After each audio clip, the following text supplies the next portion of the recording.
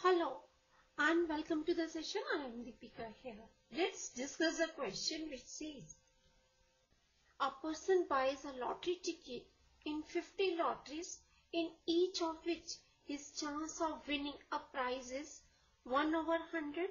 What is the probability that he will win a prize at least once, exactly once, at least twice?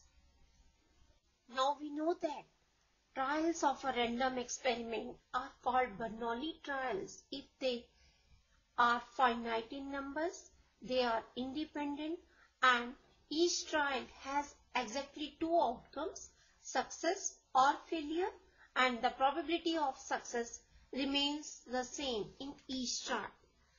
Again, probability of x successes is given by NCX into q raised to power n minus x into p raised to power x where x is from 0 to n and q is equal to 1 minus p.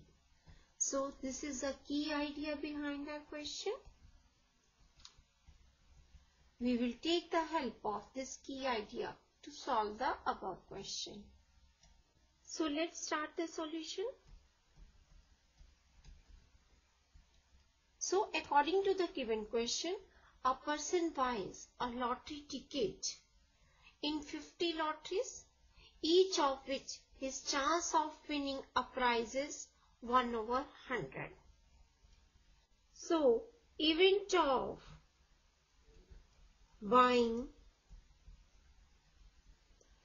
a lottery ticket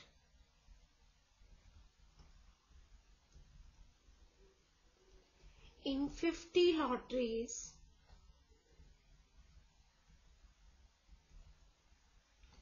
is independent of each other.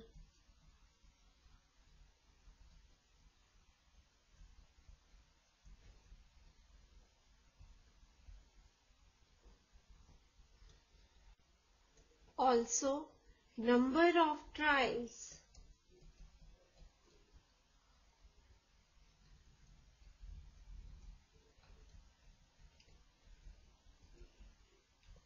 is finite.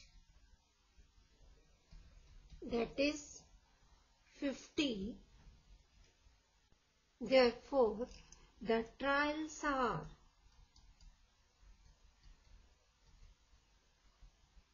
Bernoulli trials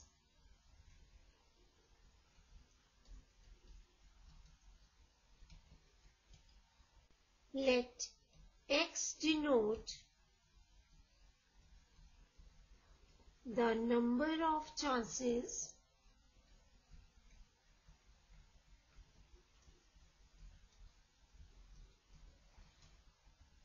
when a person wins a prize.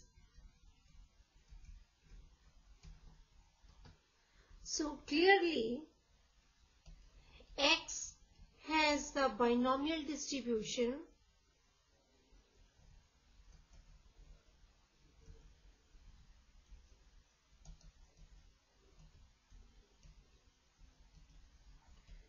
with n is equal to 50 and p is equal to 1 over 100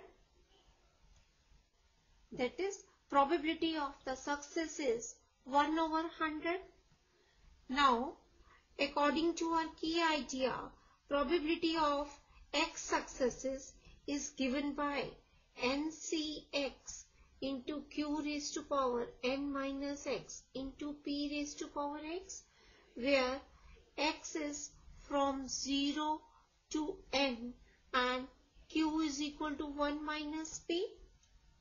Here we have n is equal to 50, p is equal to 1 over 100. So q is equal to 1 minus 1 over 100 which is again equal to 99 over 100.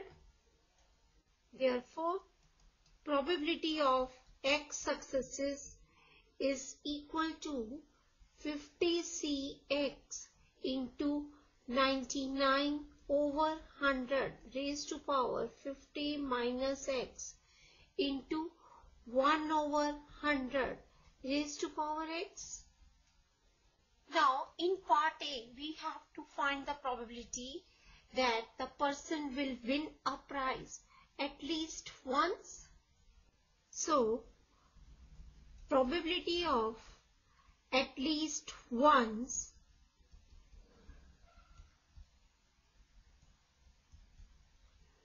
is given by probability of x greater than equal to 1. Now, probability of x greater than equal to 1 can be written as 1 minus probability of x equal to 0. That is, probability of at least once is equal to 1 minus probability of winning not even once that is, probability of at least once is equal to 1 minus probability of 0 success. So this is equal to 1 minus 50C0 into 99 over 100 raised to power 50 minus 0 into 1 over 100 raised to power 0. Now 50C0 is 1. Also 1 over 100 raised to power 0 is 1. So probability of at least once is equal to 1 minus 99 over 100 raised to power 50. So this is the answer for part A. Now in part B, we have to find the probability that he will win a prize exactly once. So, probability of exactly once is given by probability of x equal to 1 and this is equal to 50c1 into 99 over 100 raised to power 50 minus 1 into 1 over 100 raised to power 1. Now this is again equal to 50C1 which is 50 into 99 over 100 raised to power 49 into 1 over 100 and this is again equal to 1 over 2 into 99 over 100 raised to power 49. So this is the answer for part B.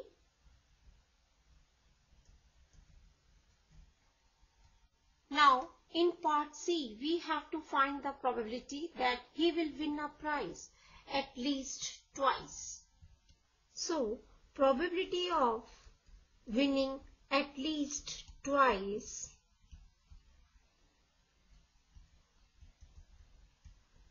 is given by probability of x greater than equal to 2. Now we know that probability of winning at least twice is equal to 1 minus probability of winning less than twice. So probability of x greater than equal to 2 is equal to 1 minus probability of x less than 2 that is probability of x equal to 0 and 1 and this is equal to 1 minus 50C0 into 99 over 100 raised to power 50 minus 0 into 1 over 100 raised to power 0 plus 50C1 into 99 over 100 raised to power 50 minus 1 into 1 over 100 raised to power 1.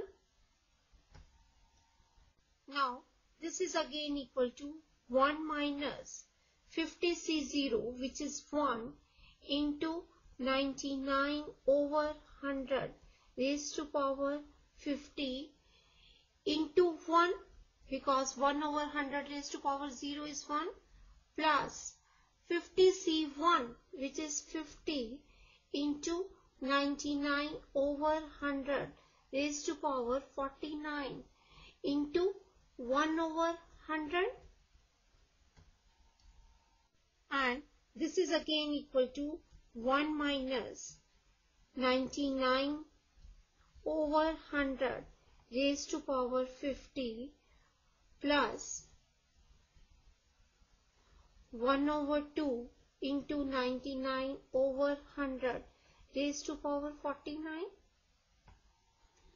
Now again this can be written as 1 minus 99 over 100 raised to power 49 into 99 over 100 plus 1 over 2 and this is equal to 1 minus 99 over 100 raised to power 49 into 99 plus 50 over 100 and this is again equal to 1 minus 149 over 100 into 99 over 100 raised to power 49.